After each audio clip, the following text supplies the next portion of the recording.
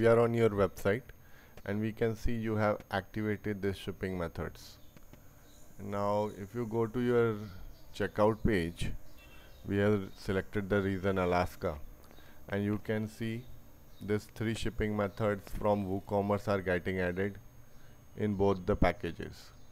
See our plugin can create the packages but and our shipping methods you can control into which shipping package they should be shown. So this is our shipping methods that you have created in our plugin.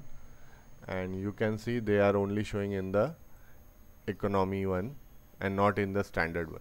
Whereas this shipping method that you have just activated from the WooCommerce they will be shown inside both the shipping packages.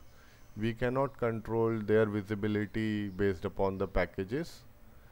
They will be shown inside both the packages because they are based upon the delivery location. Okay? That's the reason we deactivated this particular shipping methods because we thought you don't need them because you have already configured them using our plugin.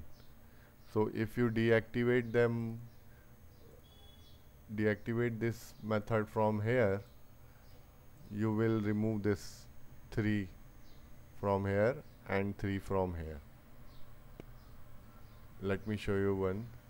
Uh, for example in the United States Alaska one we will deactivate the two day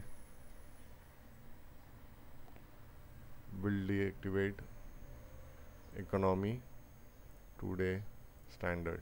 Let's now you can see. Let the page refresh. Now you can see. Those duplication has gone from here and these are the shipping method from our plugin and the WooCommerce one are removed.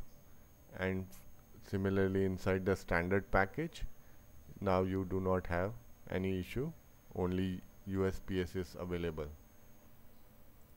I will reactivate them. So you can decide